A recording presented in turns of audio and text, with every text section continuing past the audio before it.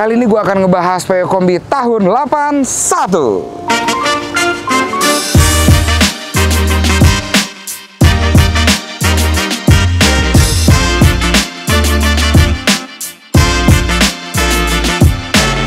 Nah, sekali ini gue akan ngebahas mobil VW Kombi tahun 81 yang gue dengar kabarnya mobil ini ikutan drag race ya di jarak 201 nih. Gue pingin tanya-tanya owner dari mobil ini namanya Om Purwo. Kita panggil aja Om Purwo. Nah, bajunya udah Volkswagen banget nih Om Purwo. Sehat Om? Alhamdulillah. Alhamdulillah. Om Purwo, Siap. Om Purwo kayaknya emang identiknya dengan VW ya? PW Om. PW. Dari kapan suka PW nih? 2003. 2003, berarti masih muda banget dong. Udah hobi VW tuh. Hobi PW. Nah, yang Om bawa kali ini PW Kombi tahun 81. 81. Om punya dari tahun Dari tahun 2003 punya. punya ini, Bukan mobil lain. mobil lain. Ya. Yang ini tahun berapa? Ini 2009 lah belinya. 2009-an ya 2009-an, dibelinya. ya. Nah, udah berapa banyak mobil Om PW di rumah? Sementara baru ini sama kombi yang masih dicat, Mm-mm. ada dua aja. Ada dua aja. Ya. Tapi VW yang lain banyak. Ada. Ada, cakep. Nah, karena Om bawa yang ini, gue pingin nanya nih Om. Modifan apa dari segi eksterior, dari mesin, dari kaki, apa yang udah Om rubah nih Om? Kalau eksterior Hmm, masih aslinya Om. masih aslinya nih. Masih aslinya. Interior juga masih aslinya. Hmm, Cuma kita eh, jok sama apa namanya door trim kita balut ulang. balut ulang. Balut ulang. Nah untuk warnanya sendiri nih Om, karena Om bilang masih aslinya, apakah warna aslinya warna marun ini? Warna marun. Dari awal Om dapat warna ini? Eh, sudah beberapa kali ganti Hmm, cat, hmm. tapi terakhir kita ganti sesuai dengan dokumennya. Dokumennya nih guys, Ya. nih warnanya sendiri warna marun cakep. Dan ini ada pemanis stiker Om ya. Ya, Ini stikernya nyesuaiin dari asal mobilnya dari Jerman. Tuh, habis itu pernak-perniknya sendiri gampang nggak sih Om untuk dapetinnya? gampang banget om. Gampang banget. Banyak dijual. Di Lombok dapat atau di luar? Kalau di Lombok ada beberapa part yang yang agak susah kayaknya. Agak susah ya. Kita biasa ke, ke Jakarta sih ini. Ke Jakarta misalnya ya. Ya. Oh. Nah, dari velgnya sendiri menarik nih. Ini mirip HSR Mirror ya. Nih. Tapi ini dicat warna sesuai body Om ya. Ini ring berapa nih Om? Eh, 14. Ring 14 guys. Standarnya sendiri dia 14 ya? 14 nih. Pakai ban dengan ukuran ini di 19565. Tuh kalau VW Kombi ini kacanya banyak. Nih, ada berapa nih? 1 2 3. Yang bisa dibuka cuma dua Om ya. Ya. Ini sistemnya pop up kayak lu punya mobil kijang tuh yang di belakang nah, bukanya sama. Wah ini nggak tebel loh, dempulnya masih tipis banget nih dan lurus-lurus. Nah ini ada penambahan eh nyebutnya apa nih om? Roof rack. Roof rack Ya. buat bagasi lah kalau bawa-bawa barang. Padahal kan dalamnya gede tapi ya mobil suka camping ya. Nih ini buat sendiri apa beli om? Beli om. Beli berapa nih kira-kira? 38 sampai sini. 3.800 sampai sini nih. Nah, kita ke sebelah sini Om, boleh. Ini panjangnya berapa nih Om? Lumayan panjang. Mobil aja panjang 5 meter ada. Eh, empat sekian lah. 4 sekian nih panjang Ya. mobilnya. Ini nggak nyampe lah, sekitar 3-an nih guys panjangnya. Nah, yang menarik lagi, gue lihat mobil ini mesinnya nih, ya. Mesinnya sendiri ini udah warna krum-kruman. Kok bisa bersih begini emang di rebuild ulang? Berarti om custom banyak kan ya? Sini ya. Rebuild om. Iya. Ini. Rebuild ulang. Rebuild ulang berarti dibuka mesin semua. Semua diturunin, Mm-mm. baru dipasang, diganti dengan yang memang kalau kalau mobil klasik om, Mm-mm. jadi dipadu dengan apa namanya aksen chrome kelihatannya Ya. lebih lagi. lebih kelihatan. Lebih kelihatan lagi. Ya. Nah itu ada untuk kunci, apakah itu untuk kunci mobilnya apa gimana? Kunci mobilnya Jadi bukan di depan, dua om, dua. dua. Kalau di belakang di on offin, belak- depan nggak bisa hidup. Eh, Kalau di sini dikunci, dikunci eh, dari sini langsung bisa. Meskipun yang di depan kondisi off, Heeh. kita starter dari belakang bisa. oh emang dari bawahnya begitu? Enggak, Oh, om sendiri. Iya. Nah itu tambahan om. tambahan, siapa tahu mesinnya ada kendala, capek bolak balik bolak balik Ya. hidupin mesin, mesinnya kan di belakang bukannya di bawah jok atau di depan. Ini nih inovatif nih modifikasinya. Ini habis berapa om buat om begini nih di krum krum gini?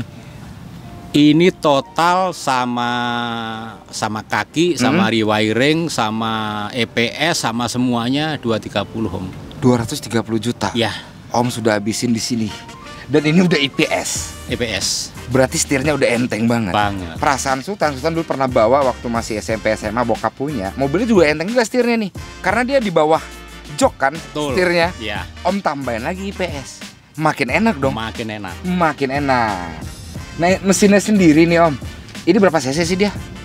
Ini karena sudah di apa kita pakai yang standar tapi kita rubah ke percepatan Mm-mm. dari standarnya 1600 ini Hmm. jadi 600 eh, 1639 Om. Oh, lebih dinaikin lagi nih Ya. ya. Nah, ini sendiri udah pasang AC nih Om ya. Ini ada AC. AC ya. Wah, AC di belakang. Untuk kompresornya di sini, untuk pendinginan mana? Samping. ini, ini kompresornya Ini nih. kompresor. Heeh. Untuk ininya eh, Di radiator. bawah. Oh, di bawah, Di bawah. radiator ininya ya, radiator AC-nya ya. Tuh guys, nih. Ini karbunya nyambung ke filter juga di chrome juga. Om. Ini karbu bawaan dia nih Om, cariin. Eh, baru Om. Ini baru. Ya. Volkswagen juga. Eh, ini Aftermarket. aftermarket ya. Aftermarket Ya. guys. Nih. Emang ciri khas mobil-mobil klasik Volkswagen tuh dia pakai chrome-chrome semua dari segi filter, dari segi puli ini. Ini chrome-chrome semua nih, habis 230 juta. Gokil. Nah, dengar-dengar kan ini ikut drag nih Om. Iya Om. Itu eh, jaraknya 201 berapa detik bracketnya? 14 eh, saya sih sebenarnya ikut yang 12 eh, bracket 12. Bracket 12. Tapi mobil ini ternyata mampunya di 14,75 Om. 14,75. Iya, Itu udah kenceng dengan bobot bodi yang sebesar ini. hampir 2 ton Om. hampir 2 ton dengan mesin tarikan belakang yang maaf ngomong kita bilang umurnya udah dari tahun 81 ya. Ya, Bisa nembus waktu 14, 14 detik. detik. Tuh. Itu Om yang bawa apa ada jokinya? Saya yang bawa. Om yang bawa. Berarti ya ini saingannya mobil-mobil kekinian guys. Lu bisa 14 detik 201 ya mobil kekinian ya. Nah yang menarik lagi kita ngelihat mesin sengaja nih karena udah di krom-krom. Om boleh tutupin nggak Om? Sultan takut nih. Siap. Tuh. Biar orang belakang ngelihat pada jalan, pada saat jalan, kelihatan mesin krum-krumnya nih. Tuh, bersih. Cakep sih Om, keren. Nah, kalau interiornya Om, boleh Stan lihat nggak? Nah, mari kita lihat. Wah, ini dalemannya emang niat sih si Om ya. Gue nggak usah duduk di supir, gue udah ngelihat ada IPS yang nyambung ke setirnya. Ini punya apa Om? Eh, Avanza Veloz. Avanza Pelos diaplikasiin ke sini. Gampang nggak sih masangnya? Yang masang itu Om. Oh, Si Jagal VW Kediri. PW Kediri tadi bengkelnya. Itu emang udah spesialis-spesialisnya lah ya. Spesialis. Hmm. Nah, untuk interior sendiri di tahun 81 ini terbaik. Ya, terbaik nih. Masih nggak ada retak, masih bagus. Dan ini apa? Melaci ya? Ya. Ini laci tuh, pernya masih bagus. Dan udah pakai head unit double din dari Pioneer. Nah, ini nih yang gue suka nih. Kisi-kisinya dan ada customer itu apa, Om? Customer sebelah kanan, RPM. Ini RPM. Ada Customer. RPM ya? Wow. Karena Om mau ikut drag kali ya, harus pakai RPM ya. Eh, enggak juga sih sebenarnya Om. Cuma apa ya? eh, kayaknya lebih lebih asik lah kalau pakai RPM. Jadi kita tahu mesin ini berputar di berapa sih. Benar, benar. Dan ini yang gue bilang, zaman dulu mobil Volkswagen ini kalau kita mau ngidupin lampu itu ada cok seperti cok yang ditarik switch.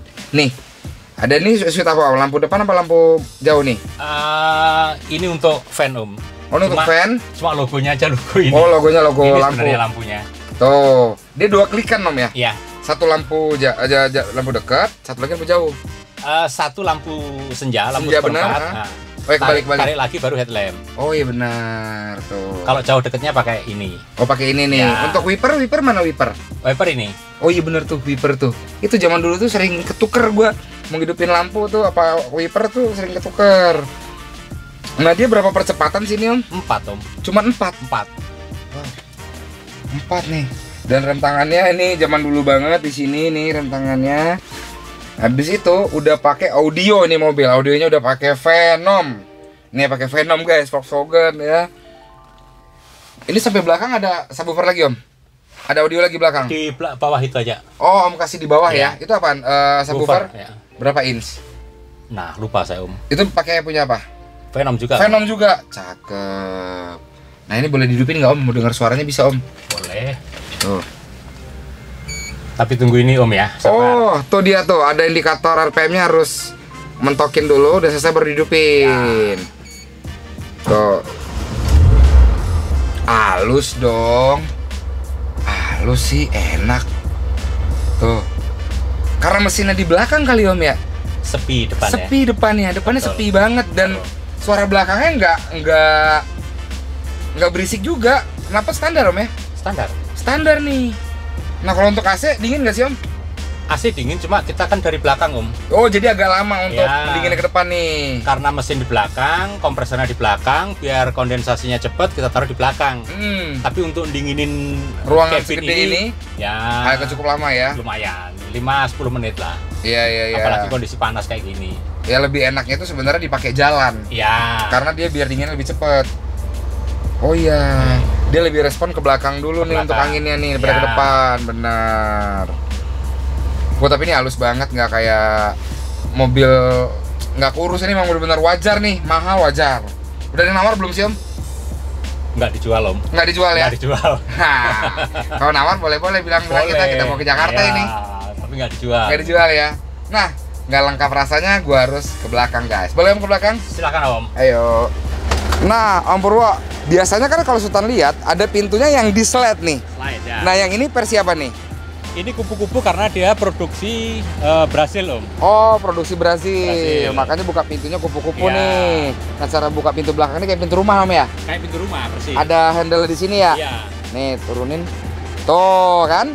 Kayak pintu rumah ada engsel yang naik nih, sama tuh. Dulu zaman bokap gua tuh diganti keramik dikasih kunci eh, kursinya sofa, sofa rumah. Eh. Nih. Ada stopper aman namanya. Oh iya benar ada stoppernya. Nih, gue bilang kan ke rumah karpetnya pakai karpet rumah. Nah ini, wah, nih kata siapa Om nggak dingin? Om masuk Om, boleh Om, ayo kita ngobrol dalam Om. Izin ya Om. Siap. Kata siapa nggak dingin? Omnya bohong-bohong aja. Ini dingin loh. Nih, udah ini Dingin. panas ya. Cuaca panas, ini dingin. Ini dingin Om, asli. Tuh, ini karena bagian mesin, jadi belakangnya masih ada space, jadi nggak dijadiin kursi, nggak dihabisin. Ini bagian mesin untuk naruh barang. Tapi kalau buat jujuk emang terkenal Volkswagen mobil dulu tuh enak-enak Om ya. Enak. Karena dia bawaannya ada per Om ya. Ya. Tuh, bawaan ini itu emang ada per nih guys. Wah enak sih nih liburan, naik ini ke pantai, naik gunung, boleh. Nah ini ada colokan, emang om buat Eh, sendiri? Bikin om, charger. Chargeran, siapa tahu anak-anak bawa iPad atau segala macam Ya. bisa dicas. Nah ini dari Venom juga yang bisa diatur eh bassnya, bass tube-nya nih, nih. Wah selebihnya cakep om, boleh boleh. Wah dingin om, boleh ini mah tuh. Ayo, gimana teman-teman sekalian? Kalian berminat punya Volkswagen kombi seperti ini? Nah, kalian boleh sharing sama Om Purwo nih. Instagramnya apa Om? Atau Eh, Facebook boleh? Facebook Purwoko Rasito biasa. Purwo Korasito.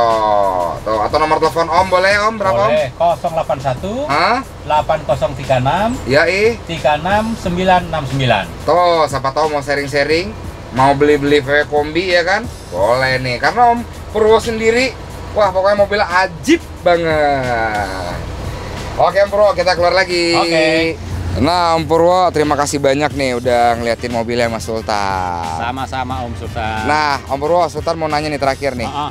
Gimana tanggapan Om adanya toko HSR di Lombok ini nih Om? Bagus ya menurut saya Mm-mm. karena di sini eh, terutama teman-teman yang masih apa namanya ya anak-anak muda lah Hmm. banyak komunitas di sini. Benar. Jadi dengan adanya HSR Insya Allah eh, lebih cepat untuk mendongkrak penjualannya. Ah, siap. Sekali lagi terima kasih banyak Om Purwo. Nah guys, gue senang banget ya. Hari ini mobilnya keren-keren dan ini ada Volkswagen Kombi yang menurut gue Wah pokoknya klimis abis, mesinnya bersih, suaranya adem, AC-nya dingin. Segitu dulu video gue kali ini, jangan lupa di like, di subscribe, dan di komen. Untuk ke depannya jangan di skip Gue Sultan pamit diri, ingat velg, ingat laser